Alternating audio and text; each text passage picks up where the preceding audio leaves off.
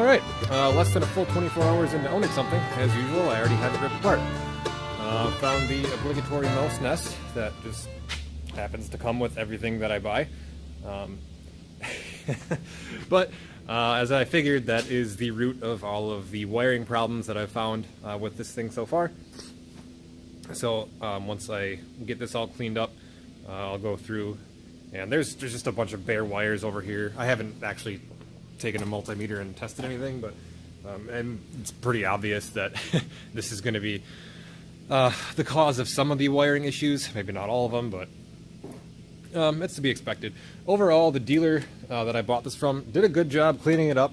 Uh, they went through and replaced all the fluids and filters for me, um, which I think they just do that on all, on all of their used tractors, uh, which is nice. So that saved me a lot of time and probably, I mean, to be honest, a good 200 $250. So that's that's pretty nice, which I'm sure they accounted for in the, in the price of the tractor, but uh, whatever. Um, you know, I, I, I wouldn't expect them to go through the whole thing and find something like this mouse nest. Um, I'm sure a lot of people would because, oh, it's a dealer. They're supposed to go through the whole thing and fix everything that's wrong with it. Well, yeah, but that's just not how it works. So, um, you know, when you're buying something used, you just have to expect stuff like that, which is why I'm taking the time to go through this, uh, look for anything that they may have overlooked, and just, you know, give it the good quality tune-up that I feel it deserves, that I give all of my equipment. Um, you know, it's a it was a good dealership, a little you know countryside dealership, but um, kind of out in the middle of nowhere. They're real honest people, real good people. Um, they have a lot of good equipment there. Um, but like I said, I just wouldn't expect somebody to, you know, take a little. They sell all sorts of equipment there, and they've got tons of stuff for sale. But I wouldn't expect a dealer to go through and fix every little thing that's wrong with um, with every piece of equipment they have, and and I think the the price reflected, um, you know, little issues like this. So, um, yeah, like I said, that's why I'm, I'm, going going through it and taking care of it. Um, so, uh, whenever you buy anything used, I would just I would expect stuff like that. Don't be surprised, you know, if you find find a mouse nest here or there, or an, an oil leak that's unexpected. But um, anyway, that's what I'm doing today. Uh, I'm going to be trying something new. Um, so I don't.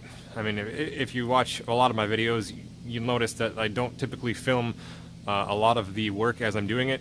And uh, to be honest, that's because I don't have a separate fancy camera like a lot of uh, YouTubers have. I just film stuff on my phone, and uh, when I'm out here in the shop working, I really like to listen to music. So my phone is usually connected to the stereo, and I'm uh, listening to music. But I'm also one of those people that uh, keeps all of their old phones. So I have a stockpile of phones laying around here, and I'm like, oh hey, why don't I just use them for filming videos? So I'm gonna try that.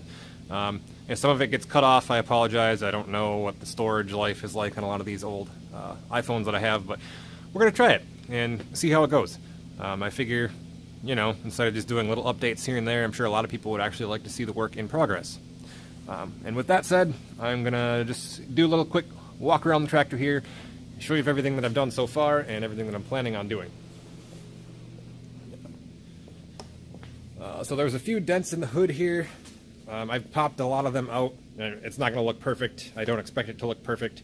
Um, but it looks better than it did already, and I spent like 10 seconds on it just popping a dent out. So um, I'm going to go through and clean up the front portion of it here. This is really the worst part of the hood. Um, I'll just try and knock all those dents out, smooth it out as best I can. Probably going to repaint it. Um, I won't be doing that anytime soon. It's still a little bit cold outside, um, but it's, uh, you know, spring is in the air. Uh, I think all next week we have highs in the low 50s, so that'll be nice. Uh, we'll get the rest of the snow out of the yard here. Uh, side note, I did tow this thing home uh, on this trailer with my uh, Jeep Grand Cherokee. It actually tows fantastic. I was not expecting it to tow that well. Um, uh, trailer actually tows better loaded than it does empty. Um, I was going to get the truck out of the garage because uh, it did rain here and the salt is pretty much off the roads. Um, and I was going to tow it with that, but I just figured, ah, what the hell, I'll use the Jeep. So uh, anyway, moving on. To get to that mouse, ne mouse nest, um, you had to pull, I'll call it the dash, um, and that basically just required reaching up into the mouse nest, which was awesome, um, and unplugging all the connections, and then um, pulling the steering wheel as well, which I kind of had to make a makeshift puller for. Um, obviously, I didn't make this part. This is just part of a gear puller that I have. Um, but then I just used chain uh, wrapped around these spokes on the wheel. Uh, put some heat on the shaft. Gave it a couple taps and it popped right off. That was nice. Um, although there were a few choice words said. Um, the loader came off fairly easy. Um, I don't think I really took it off how you're supposed to take it off, but this just ended up being the easiest way. Um, I left the side brackets on and then just unpinned uh, the ram and the upper supports there. And then it, it, that was the way that I could get it to balance the best. And then um, the side supports there, I don't know what the right word is to call those. Um, but anyway, on a 67 loader like this, they were just uh, pinned on um, down on the bottom there and then up at the front there. So they were really easy to come off uh, once the rest of the loader was blocked up like this. So um, I'm going to be going through and replacing all of the hydraulic lines on the loader. Um, just the soft lines, not the hard lines. The hard lines are in great shape. Um, once I do that, I will, I'm probably going to go through the bucket, clean it up. Um, somebody recently put a new cutting edge on it, and they've extended it because the original bucket was actually pretty beat. Yeah, uh, so the original bucket only came out to this point, and then the original cutting edge stopped right about there. So everything from this point forward is added metal. Um, same thing on the sides. They've added this coming out to here. Um, so, like I said, uh, bucket's not in great shape, but uh, the cutting edge on it is actually uh, fairly straight and relatively new, so that's kind of nice.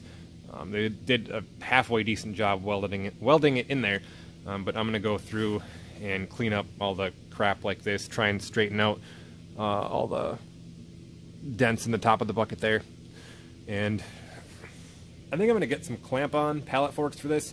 Um, I was going to try and um, get a uh, quick attach pin-on conversion for this, but I think the Deere 67 loader is narrower than a standard loader. Um, I think there might be a few companies out there that make um, pin-on quick attach systems for this loader, but the thing is it's only got about a 750 pound capacity as it is, and with that um, quick attachment on there, it's going to bring the pivot point out almost another 8 inches, I think it is. And then if you factor in like you know, then adding the attachment itself, you're really kind of reducing the overall load that you can um, pick up with this loader. So, and I mean, not to mention, I don't have a full-scale, you know, farm operation here or anything like that. I really don't have any need for a whole, you know, group of quick attach implements. I could really get by with just this bucket and um, the clamp-on pallet forks because I'm I mean, the pallet forks would be useful for a number of things, but I really just want them for picking up and moving around logs. Um, and I don't really need a grapple for that. Like I'm not, I'm not logging professionally. I'm just making firewood uh, to burn in the house in winter. Um, so I could definitely get by, like I said, with just the clamp-on fork. So that's probably going to be the route that I'm going to go. Um, yeah, everything fluid filter wise is, is fantastic. Like I said, I really just have to go through the wiring on this and that's about it. There's no leaks on this thing anywhere to speak of. Um, except for um, the valve, the loader valve here. There's a couple of the, um, actually I think it's just, just this one, just this one uh, um, quick coupler is leaking a little bit right there at the bottom. So I may grab one of those and just replace it. Well, I will. I just don't know when. Um, yeah, other than that, that's all I really have to do to this thing. Um, once it gets a little bit warmer outside, I'm going to take it out, pressure wash it, um, and just do a little touch up with the paint. I'm going to pull the battery tray out, and um, yeah, just kind of anywhere that it's rusty like that, probably just touch it up.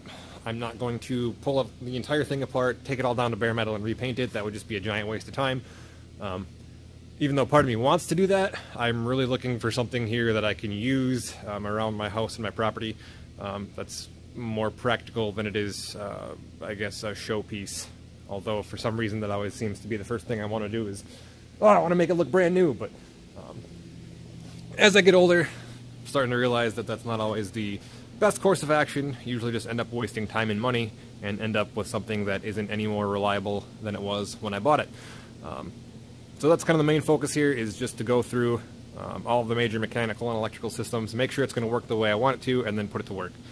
Um, so, uh, with that, I will get the camera set up in the tripod here and go back to work. All right, uh, quick little update here. Um, I tried doing the time-lapse thing with my other phone filming, and as I suspected, has memory issues, so unfortunately that did not get filmed, or at least not all of it, but I will bring you up to speed with where I'm at currently and I guess in the future I'll have to figure something else out for um, filming uh, time lapse situations. Um, but anyway, so wasn't planning on having to do this, but oh well, this is just how it goes. Um, had to fully remove the fuel tank, and uh, I mean this entire entire area here was just full of mouse nests. At first, I was thinking it was actually maybe like a chipmunk or something like that because it was just it was huge, but um, judging by the teeth marks on the wires and everything, it had to be had to be mice. But uh, for the most part, it's all out now. I got like a full full garbage bag or full plastic bag of it, and like a couple more dust pans full of mouse nest in the garbage can over there. Um, for the most part, it's all out though. Um, a while down the road, I'm going to pull this all apart again and actually pressure wash it. Um, probably clean up some of those rusty spots and paint them. I might get a new set of hold down straps for the fuel tank. Um, most of the connections here, uh, the wires on these connectors are fine.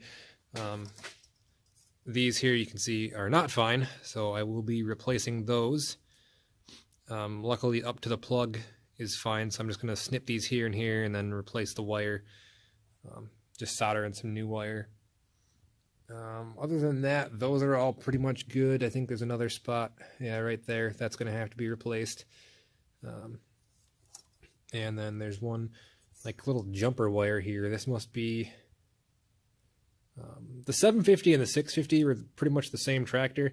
I think they use the same wiring harness. I'm pretty sure this would have been something for the optional front PTO um, on the 650, and I'm not sure if that was an option on the 750. I think on the two-wheel drive 750s it was an option as well. But um, anyway, I think that's why that's jumpered there. I could be completely wrong, but that's just a guess. Just got done cleaning out the inside of the dash. Uh, this is the upper portion uh, that would cover the fuel tank over there. Um, and same thing in here. Um, this is just garbage. This needs to be replaced. Um, this wire, I'll probably just pull this out, put in a whole new piece of wire. This one I can save, thankfully. Um, so I'm just going to cut it right there and then solder in new wires. And I'll probably just get rid of this plug and do uh, just male-female connectors on both ends and plug it in that way because this is garbage. And I don't really feel like trying to find a new one, so, you know, wiring's wiring as long as you do it right. So you don't need this. You can just use uh, male and female connectors. So that's the plan. Uh, got a little bit more stuff to get out around the tach there and everything else, but um, yeah, it's coming along pretty good. Uh, I did purchase some hydraulic lines, and naturally, as I suspected, I bought the wrong size. Um, I think these are 3 eighths, and I bought half inch, but I will have to um, take a look. I don't know a ton about hydraulics. Um, I mean, I understand the principles and everything, but um, as far as like styles of fittings and whether these are high pressure fittings or just normal JIC, I I don't know. uh, I'm assuming they're not crazy high pressure fittings. I'm pretty sure they're just they are just normal uh, JIC like flare fittings. Um, but I haven't taken any of them apart to see. Um, so I'm probably going to crack one of these loose, take it off, and then probably just bring it right into the store with me so I don't make that same mistake again, buy the wrong ones. Uh, but Thankfully, I only live about 10 minutes from the store anyway, so not that big of a deal. Other than that, just have a lot of cleaning to do. And man, if this thing wasn't a diesel, and if this was like a, a gas engine, it probably wouldn't have started. It probably wouldn't run. Usually that's kind of the way those things go. Um, you know, once you have a short in one wire, then that somehow affects the ignition system, and then you end up with a vehicle that has no spark. So, um, but thank God this is a diesel. Still runs great. And as far as I can tell, this has been the only issue um, with this tractor so far. Um, but kind of still early to say that. I haven't really used it for much, but um, once I get all the wiring redone, I think it's going to be pretty solid. So we'll keep going here. All right, it's Thursday night. Uh, I've been getting out to the shop every night after work uh, this week. Work's been kind of slow um, because of the whole coronavirus thing, but that's all right. means I have more time to spend out here. Uh, anyway, I have all the hydraulic lines on the loader replaced, as you can see. Didn't have to have anything custom made. Um, they were all standard lengths that I could get at Tractor Supply, so that was kind of nice. Um, I did make these a little bit longer than the ones that were on there, just to um, kind of give me a little bit more room when taking the loader off and putting it back on. Um, all the joints are pretty good. I'm hoping that nothing leaks, but I'm sure sure something will. Just have to get it back on there and uh, test it out. But um, got the hood looking a little bit better. I pounded some of the dents out of it. I'm really not too worried about it, though. Like I said, um, didn't paint it yet, but I will probably um, before too long uh, get just get that touched up. I don't think I'm going to go too crazy with it, but I do want to get that touched up just so it doesn't rust. Um, I will paint that green, unlike I did this here. This was um, where this is where the fuel tank sits, and this is where that massive mouse nest was. Um, and because of the moisture that the mice brought in there, and uh, um, just all the material holding actual moisture, um, it's got kind of rusty. But I just cleaned it up and um, put some of that real thick Rust-Oleum anti-rust paint on there. Um, so I'm not worried about that at all. I mean, the gas tank sits in there, so I don't really care what, or gas tank, fuel tank, whatever, sits in there. Um, so I don't really care how it looks as long as it's not going to rust. That's fine. Um, I have the uh, loader controls uh, about as good as they're going to get without replacing uh, these uh, links right here. Um, before this was super sloppy. I think I, I think I filmed it. I'll have to take a look. But um, anyway, it's because this bolt down in here um, was completely missing. So the um, loader valve itself wasn't fully supported. Um, so this bracket is supposed to be bent like this. Uh, the hole lines up. I have that bolted in there. So this is rock solid now. Um, just because uh, the pins and these links are kind of not not the um, cylinders on the valve uh, themselves, but the pins, like this pin here and uh, that pin there, um, and these links are kind of wallowed out. Um, there's a little bit of slop in them. I got this top one. It's not. It's not bad. It's not bad at all. The bottom one's a little bit more sloppy, but it's a hell of a lot better than it was. Um, before it wouldn't uh, wouldn't even hold the um, ah before it wouldn't even um, hold the float. Uh, there was so much slop here that when you would push this lever in uh, for the float function, um, this would just slop back and it would release the detent on that spool and it would just pop right back. Um, so at least that's working now. Um, and like I said before, there was just a ton of movement in the valve itself, and now it's now it's pretty solid.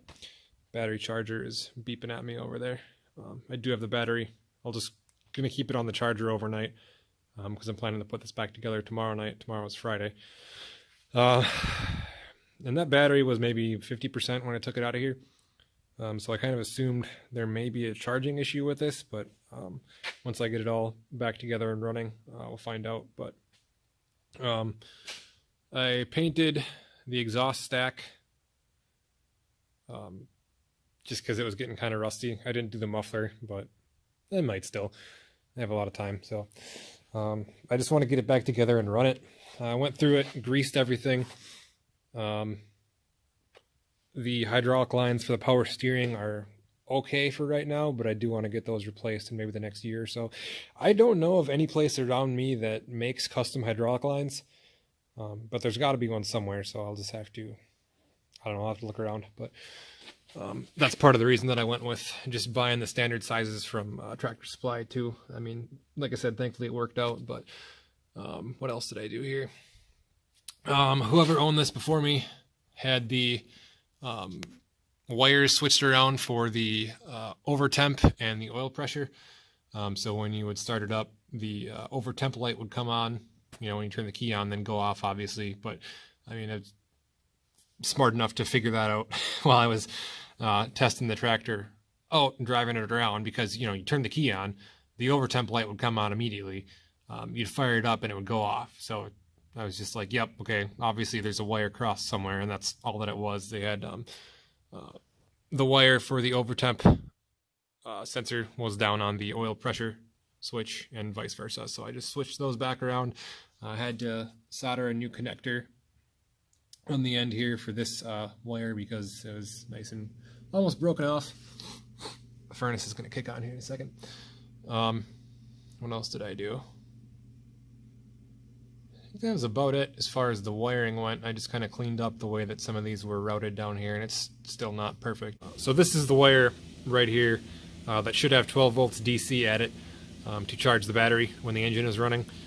Uh, I don't know how old this alternator is, but it's fairly new.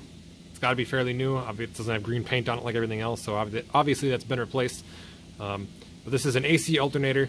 Uh, produces AC current, comes out, gets rectified into DC, uh, and then comes back and it essentially ends up right here at this green wire. I don't know why this plug is here, um, but it is there. So, yeah, that's not I'm about it. I really should just take this out of the, out of here and just solder these together. I, I have no idea why that's there, but uh, until I you know get the voltmeter out and actually make sure that there is current there uh, with the engine running, I'm not going to worry about it. But anyway, like I was saying, there should be 12 volts DC there, which is going to charge the battery and I kind of suspect there's an issue there, but um, won't find out until I get it back together and get it running.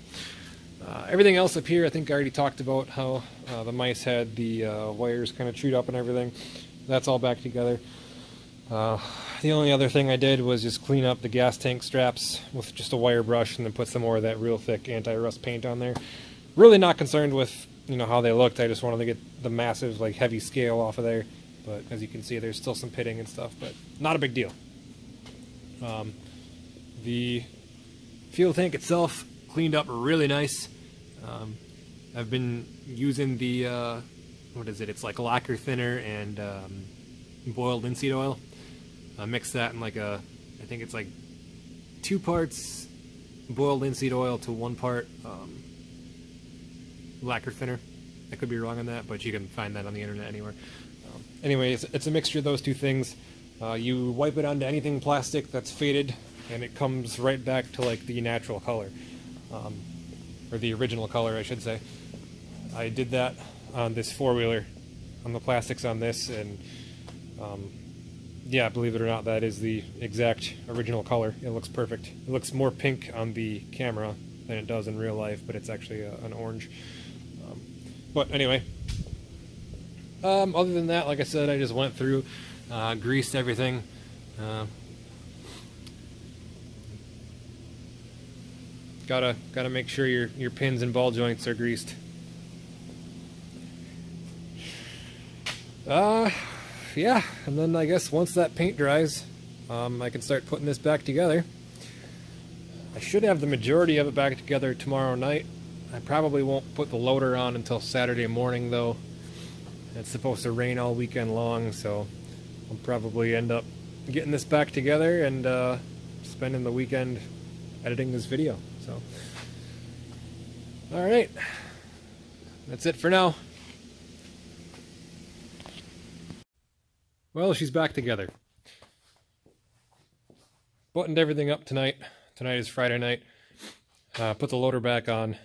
Had a bit of a time getting it back on, but um, once I remembered what I was doing, it wasn't wasn't too bad, but I got to figure out the right way to remove that. I know it's, I don't think it's technically a quick attach loader.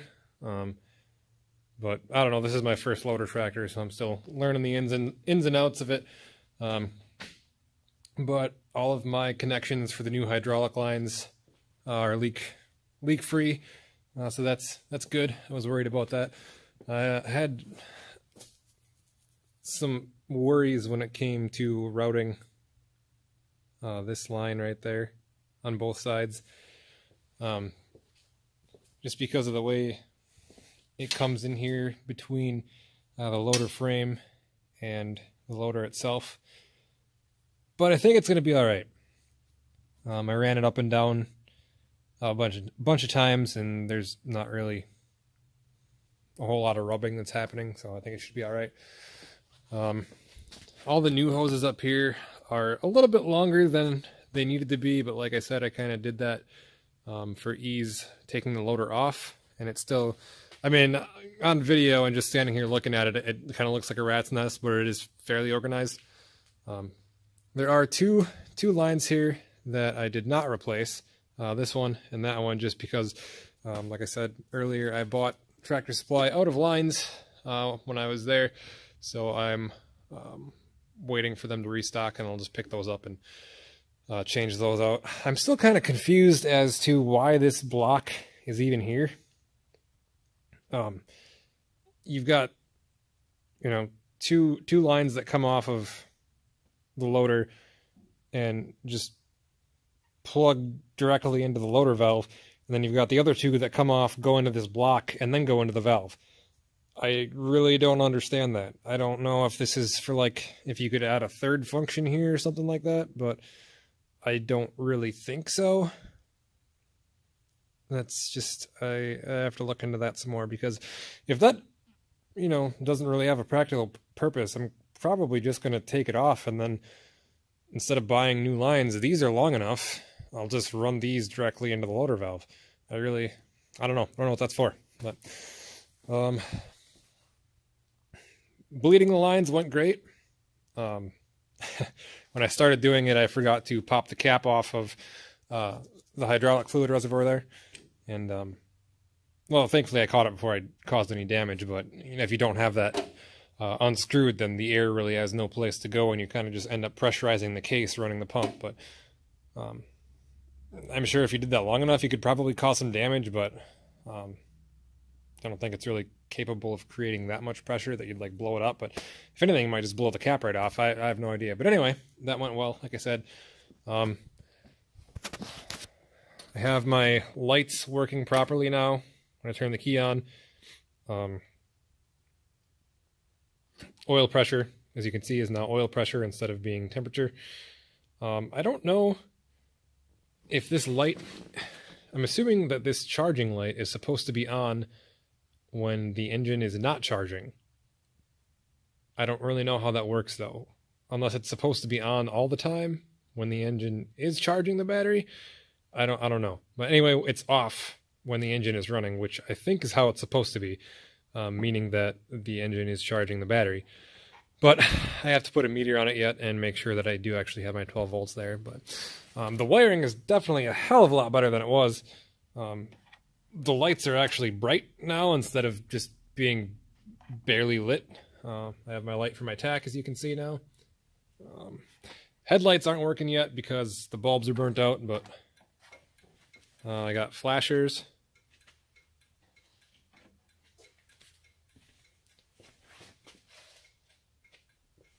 That should be flashers and... Wait a minute. Okay, there we go flashers and tail light. And then I think the last one here is the flood lamp. Nope, wrong again.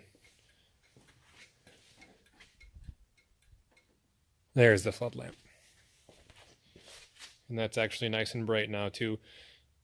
Because, I mean, it, it, worked before and I thought the bulb was bad or something like that because it was really dim, but now this is nice and bright. I had plans to replace that with like an LED, but this is I think going to be plenty bright for what I need. But anyway, that's kind of nice that I actually have all the lights that I'm supposed to have, with the exception of the headlights, but those will get replaced, like I said.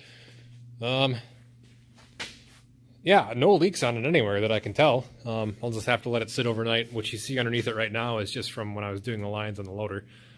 Um, I think I'm going to do a valve adjustment on it or just check the valve clearances. It sounds kind of ticky.